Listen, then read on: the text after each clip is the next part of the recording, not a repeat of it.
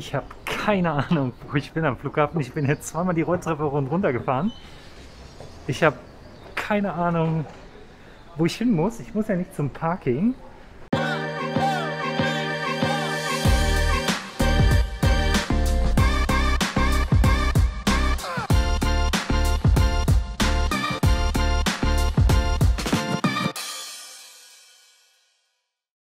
Herzlich willkommen zu diesem Trip Report und heute ist etwas ganz Besonderes. Es ist meine Premiere mit einem Trip Report. So viele YouTube-Videos, die ich schon geguckt habe, und mir dachte so, wie machen die das? Und ich habe mir überlegt, ich fühle mich jedes Mal komisch, wenn ich in der Öffentlichkeit eine Kamera raushole und für euch mache ich heute mal genau das, was nicht in meiner Komfortzone liegt. Ich nehme euch mit nach Zürich und von Zürich nach Lanaka. Diesmal ein ganz besonderer Flug und zwar mit der Swiss geht es mit einer A320-200 vom BER direkt nach Zürich und morgen früh dann von Zürich nach Lanaka mit einer A340-300. Und wenn ich richtig viel Glück habe, dann kann ich euch sogar The Throne zeigen, denn es geht in der Business Class nach Zypern. Und ich zeige euch aber heute mal so ein bisschen was vom BER, nehme euch mal mit und mal gucken, wie weit ich komme mit meiner Kamera, ohne dass ich angesprochen werde oder vielleicht was für Diskussionen oder Unterhaltungen es gibt. Und wenn ihr meinen Kanal noch nicht abonniert habt, dann drückt hier unten gerne auf Abonnieren, aktiviert die Glocke, um kein Video mehr zu verpassen. Es wird bestimmt auch einige Trip Reports geben, aber erstmal stay tuned. Und wie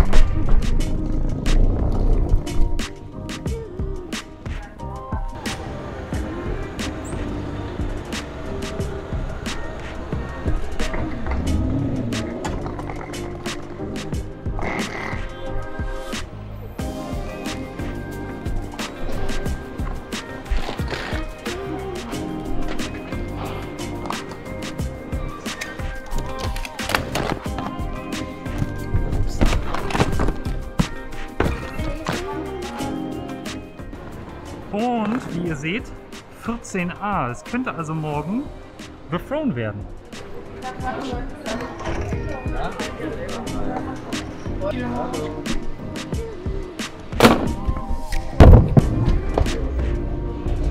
So, da sind wir durch den Sicherheitscheck. Das dauert bei mir mal ein bisschen länger, wie ihr gesehen habt. Ich weiß gar nicht, ob die Aufnahme drauf ist.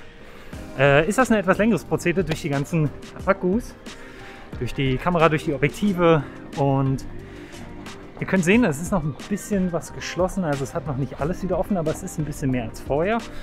Ich bin in den letzten Monaten einiges hier über den BR getingelt und zeige euch jetzt meine Lieblings-Kaffeerösterei. Die Berliner Kaffeerösterei, die sind richtig gut.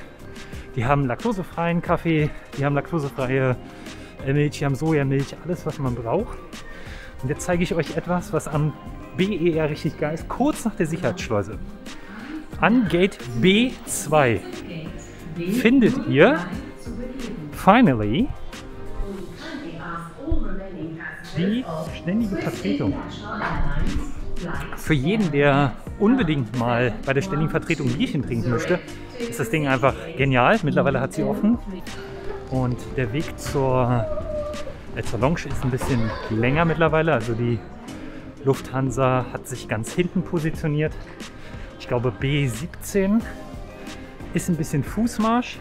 Was ich aber cool finde am BER, ich zeige euch das, sind die Wände. Und zwar diese, vor zwölf Jahren wäre das mega modern gewesen, dieses Holz, also mit diesen Löchern.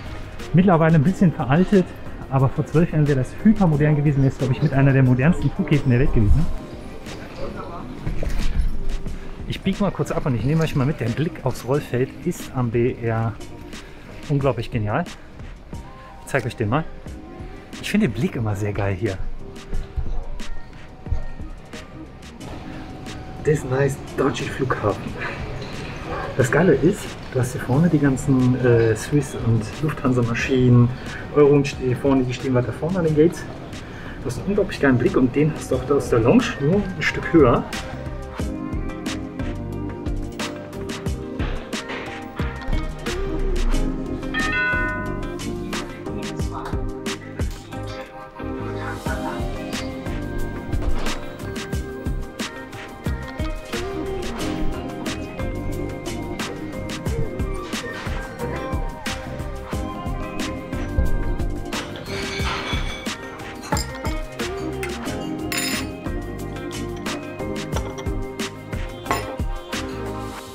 Gehe gerade, es ist in der Lounge ein bisschen ruhiger geworden. Ich will euch mal einen Teil von der Lounge zeigen, ähm, den in meinen Augen der absolute Favorite Place ist.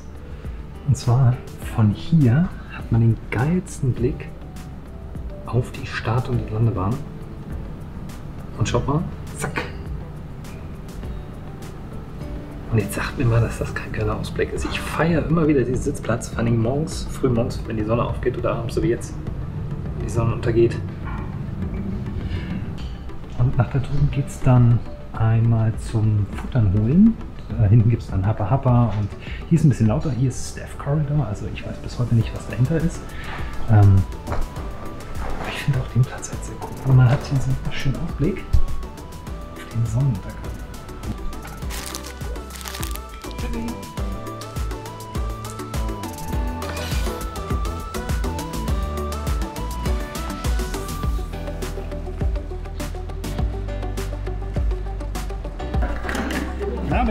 Abend. Okay. Okay.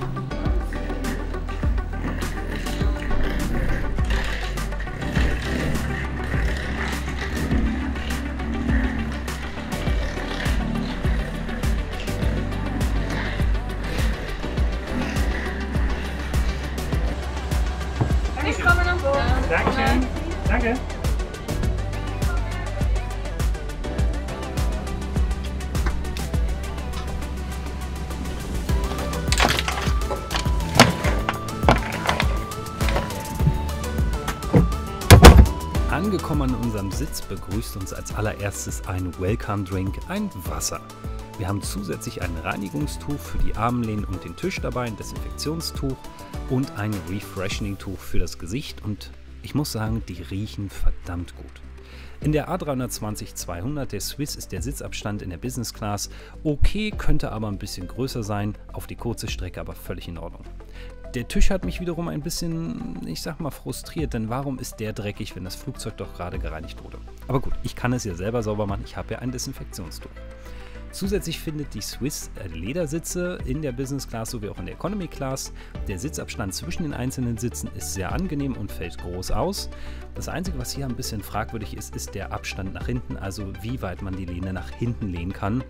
Das könnte doch aus ein bisschen besser sein, aber geht für den kurzen Flug. Die Savers in der Business Class und auch in der Economy Class der Swiss sind angenehm. Wir haben hier Speisen von gesund, über Snacks, über Getränke, alkoholische Getränke, die jeder Passagier, egal ob Economy Class oder Business Class, käuflich erwerben kann. Die Zahlungsmöglichkeiten sind dabei Kreditkarte ausschließlich und Bargeld wird nicht angenommen. Was mich in der Business Class etwas geärgert hat, ist, dass ich keine Möglichkeit habe, selbst Sauerstoff zu regulieren und damit mir Frischluft zuzupusten. Wiederum auch die Sitze waren etwas in Jahre gekommen, denn es gab keine Steckdosen für USB- oder Laptop-Ladeplätze. Aber das ist zu verzeihen auf einem so kurzen Flug.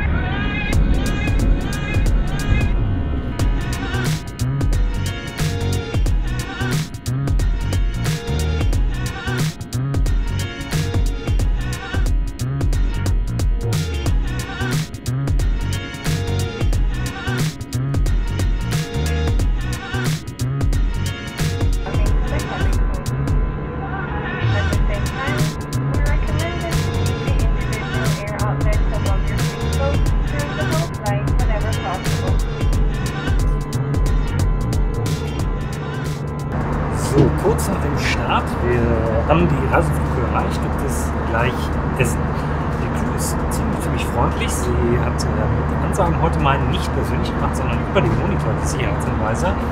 Wir sehen, hinter uns ist schon abgetrennt worden. Ich finde es immer ein bisschen schade, wenn es so abgetrennt wird, weil ich glaube, man ist ja trotzdem eine Kabine. Aber ich bin äh, super gespannt. Wir sind mittlerweile auf 17.000 Fuß ähm, mit 800 km/h unterwegs und ich bin wirklich gespannt, was es heute zu, zu essen gibt.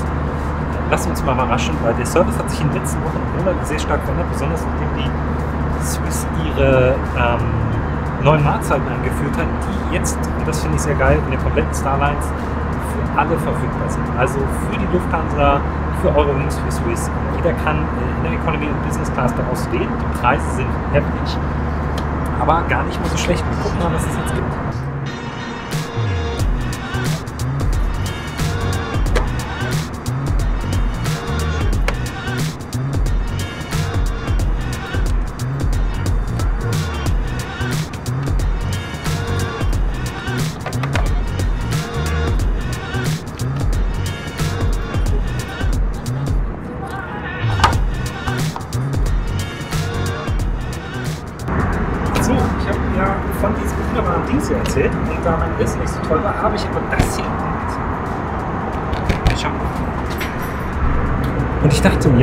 Da ich die entdeckt habe, hole ich die auch mal.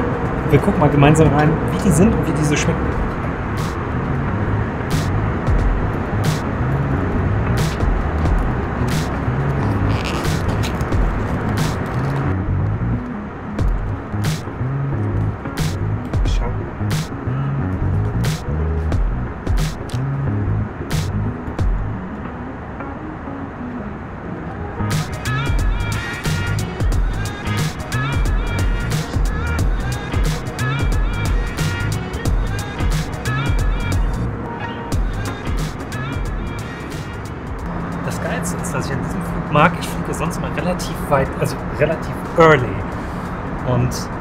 Ist heute ausnahmsweise mal einer der Flüge, wo ich spät abends fliege. Und was ich geil finde, ist quite nice, dieser Ausblick.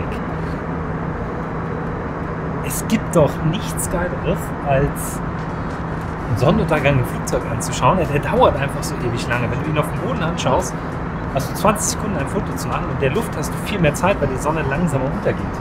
Und gerade eben war auch ähm, eine der Flugbegleiterinnen hier und hat sich hinter mir hingesetzt und hat schnell ein paar Fotos mit dem Smartphone gemacht, weil der Ausblick so schön ist. Und ich mag das einfach im Flugzeug, diesen Sonnenuntergang anzuschauen. Also ich werde in Zukunft schauen, dass ich öfter spät fliege, weil Sonnenaufgang ist nice, aber Sonnenuntergang Richtung Zürich, richtig genial. Von, von Berlin nach Zürich habt ihr den Sonnenaufgang auf der rechten Seite.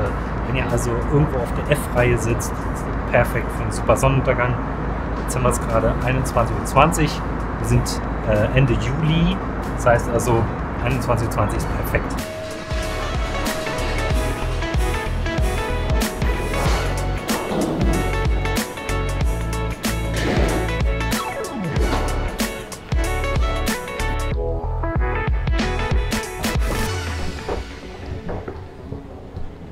Gucken wir mal, ob wir ein U-Bahn, Taxi oder irgendwas bekommen, um zu diesem komischen Hotel zu kommen, was gar nicht mal so in der Nähe ist, dafür, dass es ein Airport-Hotel sein soll. Mal gucken, wo ich raus muss. Ich hasse Flughäfen, wenn sie so groß sind. Äh, ah, Ausgang. Es gibt Flughäfen, da steht es ausgeschildert, an einigen nicht. Auch mal gucken, ob ich irgendwie Probleme bekomme mit meinem Equipment, weil ich ja in die Schweiz einreise. Ich weiß gar nicht, wie es ist. Muss ich es anmelden? Schreibt mir mal in die Kommentare, ob ich eigentlich mein Equipment anmelden muss. Ich habe keine Ahnung, wo ich bin am Flughafen. Ich bin jetzt zweimal die Rolltreppe runtergefahren. Ich habe keine Ahnung, wo ich hin muss. Ich muss ja nicht zum Parking. Es gibt halt überall Parking, ähm, Train Station, Bus Station, aber ich muss nicht zu einer Train oder was. Ich will zu einem Taxi. Mal gucken, wo ich hin muss. Ich glaube, als allererstes erstmal raus. Aber wo geht's raus? Let's find. Auch immer so geil, wenn die Leute mal gucken, was macht der Typ mit der Kamera da? Okay. Das sieht aus, als wäre ich richtig. Na, das bin ich nicht. Herr Baumann bin ich ausnahmsweise nicht. Wäre auch zu schön gewesen. Ich habe den Ausgang gefunden. Survived. Hotel Shuttle. Ausgang. Boom. Ja, ich habe es geschafft. Ich komme aus dem Flughafen raus. Nice. Jetzt erstmal ein Taxi organisieren und dann zum Hotel, zum Radisson. Mal gucken, äh, wo ich hin muss. Ich habe immer keine Ahnung. Also bei einem Taxi, die sind halt hier schweineteuer. So, zum, zum Vergleich, wenn du in Berlin mit dem Taxi fährst, bist du irgendwie 30, 40 Euro los. Hier sind es 50. Einfach nur für zwei Kilometer. Mal gucken, ob ich hier ein Taxi bekomme, was ich mir auch noch leisten kann. Nicht, dass ich am Ende arm bin. Okay, die Hand nach dem Uber-Fahrer geht los. Ich habe mir jetzt ein Uber gebucht. Ein Uber Luxury für roundabout 27 Schweizer Franken. Ähm, und ich muss jetzt zu Check-in One, also hier ist, Ab hier ist Abflug. Und ich muss hier hin, weil der hier draußen, wo auf mich wartet. Und jetzt gucken wir mal, wo ich den finde. Ich werde mal auf meine App gucken, wartet mal. Ich bin immer nicht so. Uber nutze ich nicht so oft. Aber gerade jetzt ist es natürlich mega praktisch. Ja. Ja, zeige meinen Echtzeitstandort. Ich muss jetzt meinen Echtzeitstandort angeben. Und der Fahrer ist noch ein paar Minuten entfernt. 1,7 Kilometer. Was kommt denn hier? Ein Mercedes E220. Ich weiß gar nicht, ob man sehen kann. Mal gucken, äh, wann der Fahrer auftaucht. Und ob ich irgendwie noch im Hotelzeiten ankomme, bevor es morgen früh ist. Schönen guten Abend. Schönen guten Abend.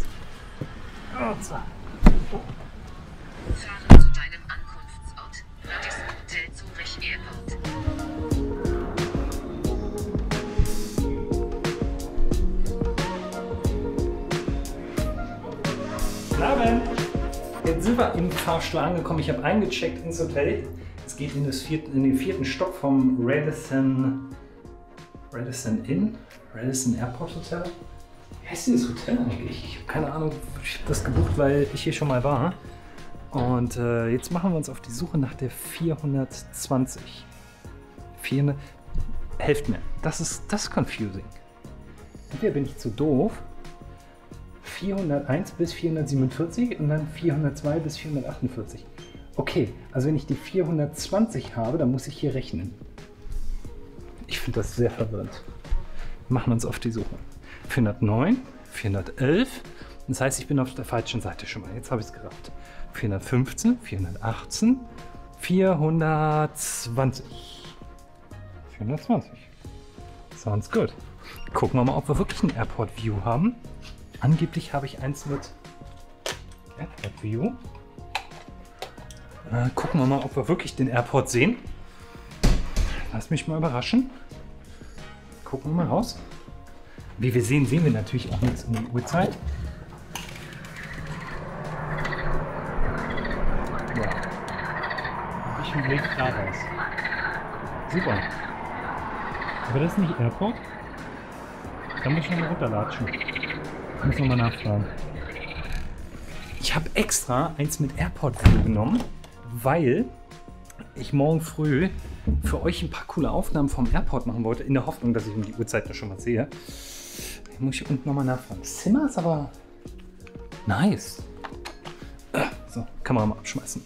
Ich habe es gemacht. Ich bin nochmal runtergelaufen und habe gesagt, hey Mensch, Zimmer, der Blick irgendwie auf die Baustelle ist irgendwie nicht so nice. Ich hatte Airport View gebucht. Ähm, ist da irgendwas schief gelaufen? Sie meinte, ja, da kann irgendwas schief gelaufen sein. Wir kriegen von Booking.com gerade aktuell nicht so die ganzen Infos. Wir kriegen auch von den anderen Plattformen nicht. Ich habe dieses Hotel gebucht über Cars bei Points und da sammle ich Meilen. Wie das mit dem Meilensammeln übrigens funktioniert, ähm, zeige ich euch gerne in meinem Online-Kurs. Hier für dieses Hotel habe ich jetzt äh, circa 4000 Meilen die Nacht mitgenommen. Lag bei ungefähr 70 Euro. Und ähm, ich zeige euch mal so ein bisschen, wie das Zimmer aussieht. Sorry dafür, dass es hier schon ein bisschen müllig aussieht. Ich war nämlich zwischendurch, wie ihr gesehen habt, Brille wechseln. Ich war auch bei McDonalds, habe mir noch was zu essen geholt. Schande über mein Haupt, aber ich habe halt was Cooles mitgebracht. Ich zeige euch mal so ein bisschen was vom Zimmer. Also, wir haben, wir haben das Bett. Übrigens extrem weich und cozy. Ich finde ich find das Bett extrem cool. Wir haben hier, oh ich weiß nicht. Die Macrons. Big Tasty Bacon darf sein. Ähm, gerne noch was, dann schaue ich noch was. Und hier, das ist das. Ihr könnt es im Dunkeln halt schlecht sehen, aber vielleicht lauscht ihr einfach. Ansonsten, Fernseher im Zimmer, ganz nett. Ähm, wie gesagt, Bett. Ist ein bisschen größer als das andere Zimmer. Hier haben wir wieder das coole Ding, wo ich meinen Kaffee und alles habe. Dann nice. Also das ist ein bisschen schick. Und dann kommt wieder das Gruselige. Schaut mal. Da ist es. Das Knastwaschbecken. Und last but not least, ich, ich preise das mal so an. Die Sauberkugel, die, die Sauberkugel, wo du gehst rein und kommst wieder raus und du bist ein anderer Mensch. Nice, ich, ich feiere die Dinger halt irgendwie auch, weil es auch irgendwie ein bisschen, ist ein bisschen cool, ne? Weiß nicht, schreibt mir mal in die Kommentare, ob ihr das cool findet. Ich persönlich finde es ganz nice. Ich würde es mir jetzt zu Hause nicht hinbauen, aber irgendwas hat es. Einen wunderschönen guten Abend. Jetzt ist es mittlerweile schon knapp, knapp nach null, glaube ich. Es ist kurz nach null. Ich habe die, die Canon gerade mal ausgepackt und ähm, ich habe mir gedacht, hey, ich probiere einfach mal so ein bisschen den, den, den Trip Report ein klein wenig umzuändern und creative zu sein und ein bisschen Tagebuch draus zu machen. Also, äh, keine, keine Angst, wird jetzt hier nichts Crazyes, aber mir ist gerade aufgefallen, dass A, ich Frösche vorm Fenster habe, was ich sehr krass finde, wenn ich mir überlege, dass nicht mal ganz 200 Meter weiter der Flughafen ist und man die Frösche ein bisschen drin hört. Aber mir ist heute auch aufgefallen, ich bin ja sonst immer hinter der Kamera und ich filme sonst für andere Menschen. Und heute ist etwas passiert, was ich sehr witzig fand. Ich habe gedacht, wenn ich mit dem Vlog starte und eine Kamera mitnehme, dass die Menschen komisch reagieren, dass sie zum Teil ähm, angepisst reagieren, dass, dass, sie sagen, hey, ich will nicht da drauf sein auf der Aufnahme oder äh, mach das, lösch das, sodass ich ganz komische Reaktionen bekomme. Und die Reaktionen waren komplett anders als erwartet. Es waren so Menschen dabei, meinen, hey, du bist YouTuber, äh, hast du einen YouTube-Kanal, wie heißt der Kanal, kann ich dir folgen, bist du bei Instagram? Also ich habe sehr, sehr viele Fragen bekommen, dass die Leute neugierig waren, was ich mache. Und ähm, danke für die, die heute auch als Abonnenten und Follower dazugekommen sind.